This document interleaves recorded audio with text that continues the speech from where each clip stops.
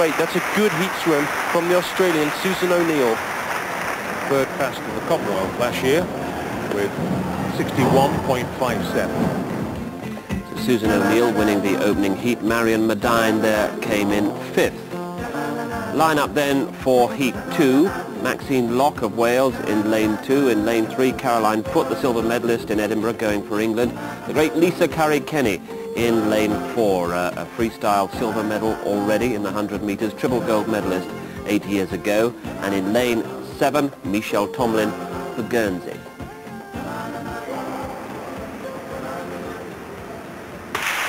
British interest in this heat of the ladies 100 fly. Maxine Locke from Wales in two, Caroline Foot from England in three, Michelle Tomlin from Guernsey at the top there in lane seven. The favourite, Lisa Curry-Kenny from Australia in lane four, second in the 100 freestyle individual event, and a gold medal in the 4x100 freestyle relay in a new Commonwealth record. The red-hot favourite for this event, she's got a best time, 61 and a half. Lisa Curry-Kenny leading at 50. Lisa seems to attack every race so well. She just goes straight for it, doesn't mess about, tries to go straight into the lead. Caroline Foot going with her, which is a great sign at the moment. Be good to see Caroline if she can hold on towards the end. But Lisa Curry-Kenny, very high kick there. You can see a kick coming out almost a foot above the water, which is quite abnormal for butterfly sprint swimmer. Inside the final 15, it's Curry-Kenny from Caroline Foot, of course, won the silver in this event four years ago in that English 1-2-3. But Lisa Curry-Kenny, 61.53. Superb heat swim. Caroline Foot was second. In third place was Anne Thimsick of New Zealand. So that's how they finished in uh, Heat 2. Lisa Curry-Kenny taking uh, the victory there. We're going to go live to the pool because we're in the final stages of the 3-metre springboard diving event. Remember, Robert Morgan leading for Wales, and we'll join Hamilton Bland. This is the leader now, Steve. Craig Rogerson from Australia. And that's why he's leading. That back one and a half somersault with two and a half twists performed solidly. And it has to be said that Dave Bedard and Bob Morgan have really given this Australian diver the lead. He's just dived consistently. Bedard and Morgan have dropped dives. 58.8. Not a great dive, but good enough to keep him in the lead. On the left there, Steve Foley, who won the silver medal in 1982 when England's Chris Snode won gold. This is Dave Bedard now. He was in second place after the seventh round. Then he slipped to sixth. He's now back in second.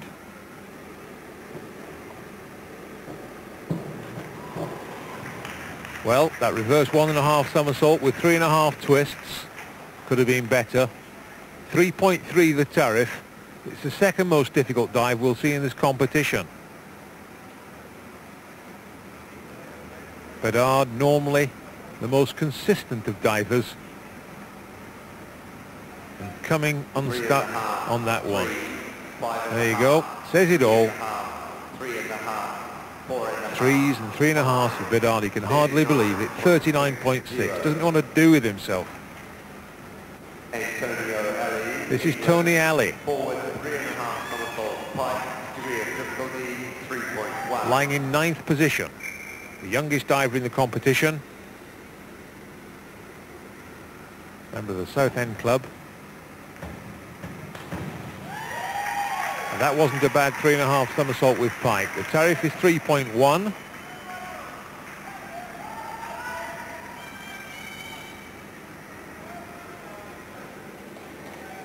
Had a bad ninth round dive, only scored 47.8.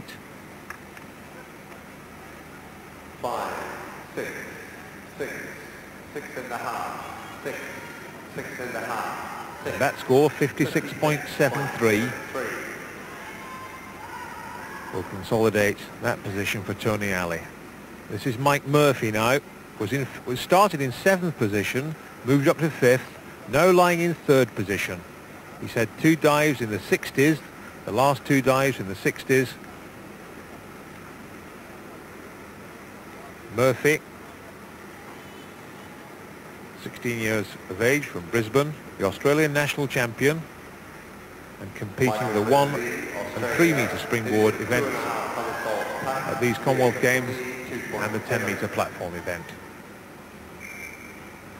This an inward two and a half somersault with tuck.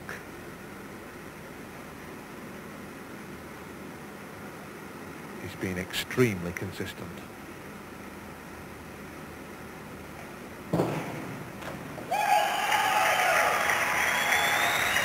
And remains so.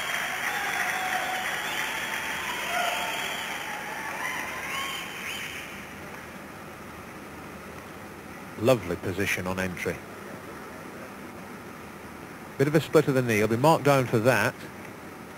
Seven, six and a half, eight, But those are good marks. seven and a half, 57.51. seven and a half, fifty-seven point five one. Next to go will be New Zealand champion Tony Young, who's having a dreadful time. In 13th position, only scored 19 points on his last dive, Tony Young. didn't complete it. A worried man. This a forward three and a half somersault with tuck, 2.8. A difficult dive in front of this big crowd here at the Henderson Pool.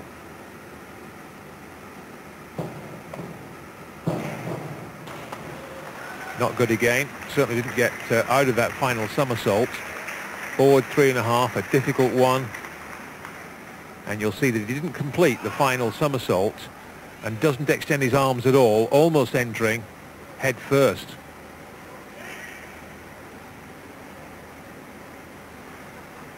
Always short. three and a half, two and a half, three, The bad run continues. 26.88. four, twenty-six point eight eight.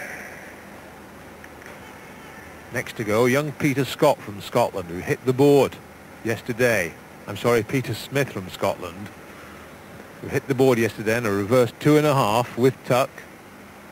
Hence the cap he's wearing. Did the same dive a couple of rounds ago from this board, the three meter, and did it well. And Cap just uh, protecting the three stitches he had put in his head immediately after that accident. He's back to form. Lives in Troon. 19 years of age. A back one and a half with two and a half twists.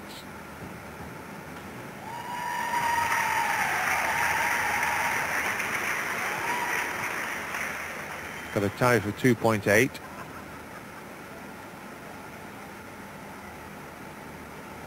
Again, not quite vertical on entry. He's having a, a bit of trouble with those twists as well. Six and a half, six, five, six, But 49.56, he's dived well. five and a half, forty-nine point five six. Larry Llewellyn. Next to go, Larry Llewellyn was third after six dives. Now slipped back to sixth. He had an injury in the warm-up. Hit his feet on the board. Badly damaged his heel.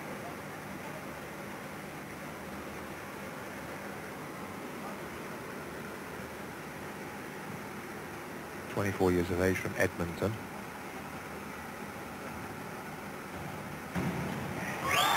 Good dive. 3.3. That is a difficult dive. The reverse one and a half somersaults with three and a half twists. And he does these twists well. The highest score is knocked off, the lowest knocked off. They're added together, multiplied by the tariff, divided by five and multiplied by three. Complicated piece of mathematics. Believe you me, the total is 73.26 and that's the best dive we've seen in the competition, including Craig Rogerson's good run. Bob Morgan from Wales led the competition after six dives and after seven, then slipped to third, but with a poor ninth round dive, slipped to fifth.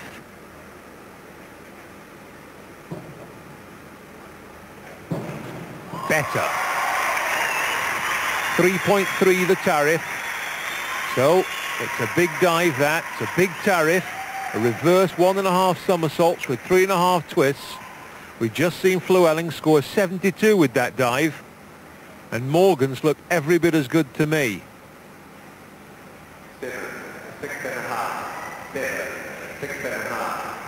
And almost to the judges. 67.32. Better dive from Bob Morgan. That'll help him a lot. That'll certainly move him up. One dive to come remember after this.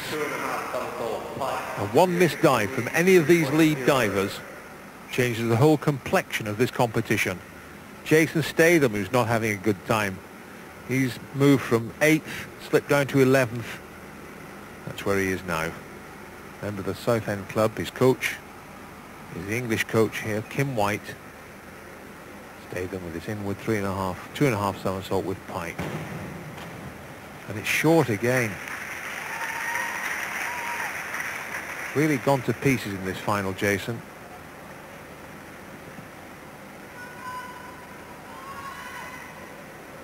Well short. fours and fives, that's all I'm afraid for that. five, four and a half, four, four and a half. Lost the field, Point two, 43.2. Mark Rourke started in 10th position, clawed himself up to 4th. Very much a contender for one of these medals. A back two and a half somersault with Pike, 3.0.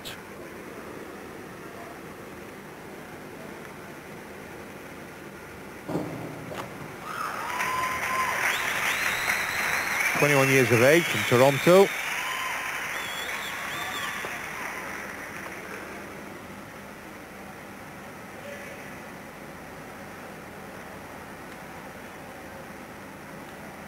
And what the judges think about that. Towers 3.0, Seven, seven, sixty-three. 63.9. That won't do him any harm at all. Steve Forrest, Final diver of this penultimate round, Steve Forrest, Scottish national champion.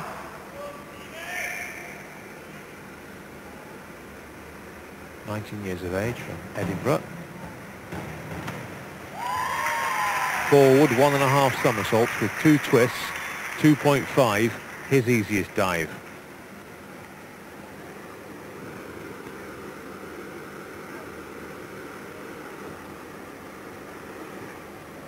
Member of the Edinburgh Diving Club. Bill. Law on the left there is coach. 46. He's a bit happier with that 46.5. Once more, ladies and gentlemen, the So, with one dive left. Craig Rogerson still leads, and Bob Morgan has moved from fifth to second. So, super improvement from him. Mark Rourke has moved up into third position. Larry Llewellyn from Canada is in fourth. And still very close indeed for the silver and bronze medals. But that is the man on the right that leads the competition, is pushing Bob Morgan away. Is the man on the left. Rogerson leads 525 points. 15 points ahead of the Welshman, Bob Morgan. Rourke from Canada in third. Dave Bedard slipped right back to seventh place. He was second. Jeff Arban from England in eighth. Tony Ally from England in ninth. Peter Smith from Scotland in 10th and Jason Statham for England in 11th. Steve Forrest in 12th position. One dive left then, and with divers scoring between 60 and 70 points on this final round, the gold, silver and bronze medals by no means yet decided. First diver, final round, Graham Banks, Australia, lying in sixth position. Reverse one and a half somersault, two and a half twists, 2.9.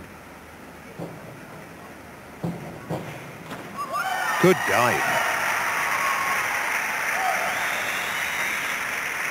That's Val coach. She liked it, didn't she? And so she should. That was a good dive. Super entry.